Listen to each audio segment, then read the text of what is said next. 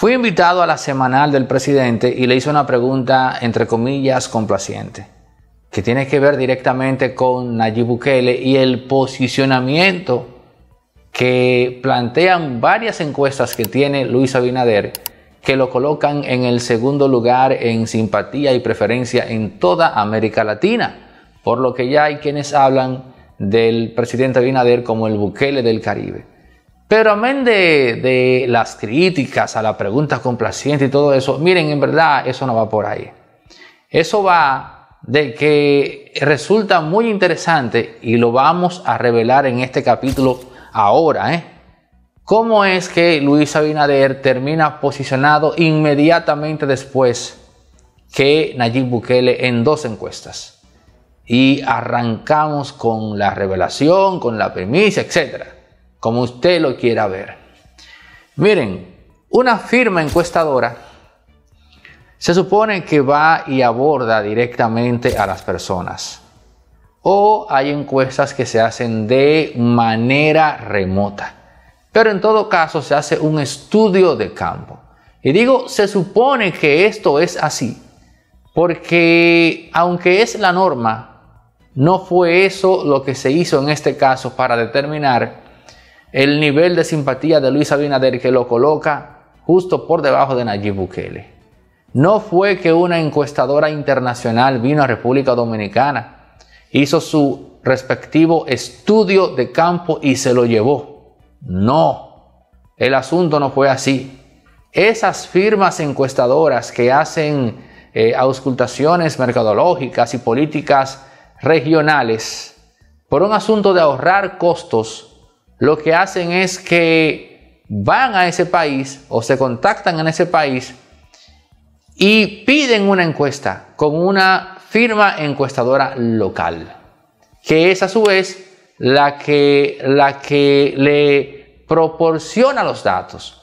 En ocasiones ni siquiera se llega a ese punto. Simplemente comienzan a pedir encuestas y colocan la que, la, la que dé en promedio. Pero en este caso, ¿Quién le proporcionó? Oigan bien, ¿quién le proporcionó a esas firmas encuestadoras extranjeras los datos que avalan que Luis Abinader es el segundo presidente mejor valorado en América Latina? La información que tengo, o la que nos llegó, es que es el Consejo Económico del Cibao.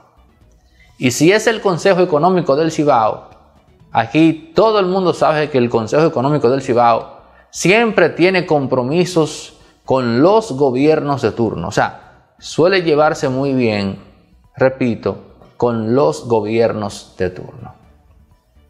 ¿Qué significa esto? Bueno, significa que hay una alta posibilidad de que los resultados que le llegaron a esa firma, eh, firma encuestadora en el extranjero sean resultados que estén ¿cómo, podemos decir esto? Eh, parcializados. Parcializados en aras de, de, aumentar un poco más la simpatía del presidente. Y no ya solo colocarlo como, como el Nayib Bukele del Caribe, sino como el presidente que en toda Centroamérica goza de la mayor aceptación. Pero hay un aspecto que se dio con Danilo Medina que no sería bueno para la democracia que se dé con Luis Abinader. ¿Por qué Danilo Medina insistió en una tercera reelección? Por algo muy simple. Saqué un 62% en las elecciones pasadas. Yo pude haber eh, caído un 12% Pude haber caído un 17, pero eso yo lo repongo con los recursos del Estado. En síntesis, vender la idea de un presidente exageradamente sobrevalorado, que ya pasó por una reelección o que está pasando por una, es un aliciente para que tres años después se vuelva a resucitar esa reelección. Porque ese presidente, al igual que Danilo, lo que va a pensar es que por más que haya caído, nunca ha caído eh, a un porcentaje tan, tan, pero tan pírrico que lo distancia del poder. Su caída será vista como producto del desgaste. El desgaste natural de estar en el poder, pero no un desgaste que comprometa salir de él. O sea, esas encuestas psicológicamente van condicionando al presidente Abinader, o pueden, pueden, tienen el potencial de condicionarlo para que vea una segunda reelección en el 2028 no como un trauma, sino como algo que se desprende de lo anterior, que se desprende de que él tiene por encima o tenía por encima de un 60% de aceptación y que ahora tendrá un 48% pero que él repone con los recursos del poder. Eso es lo peligroso de esa encuesta. Pero también que sepan ustedes cómo se maneja eso.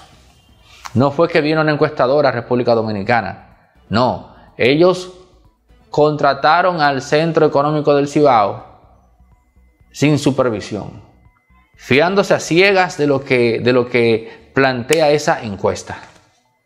Que puede ser un 50, un 55, un 60.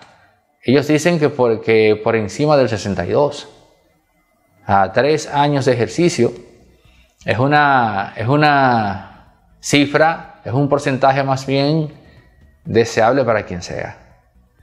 Pero además, señores, aunque ellos no lo digan, aunque no lo digan ellos, los candidatos del PRM para el 2028, cuando ven ese tipo de cosas, entran en preocupación se comienzan a preguntar qué va a pasar, qué pudiera pasar si el presidente se queda en sintonía con esos números.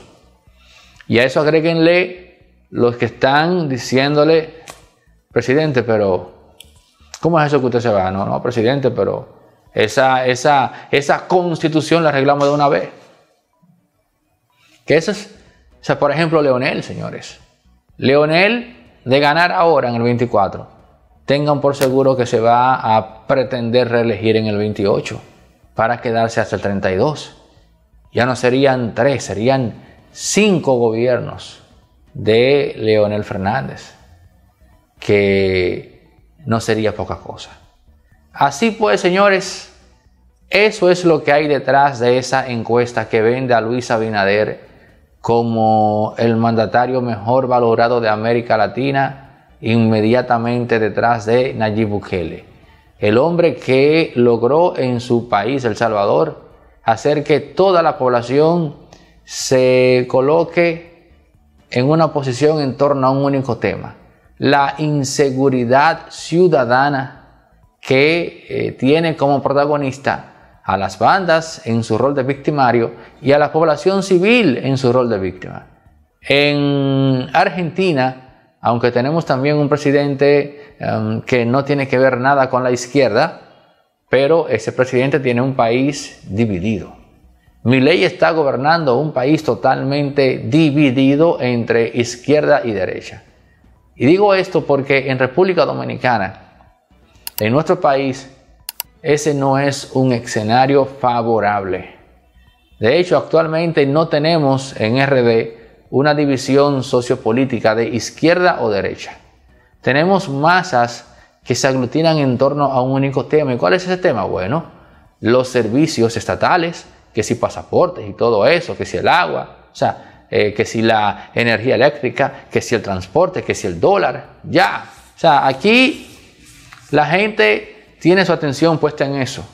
No existe ese debate político, social, de que si la izquierda progresista, que si la derecha, que si el conservadorismo, nada de eso, señores.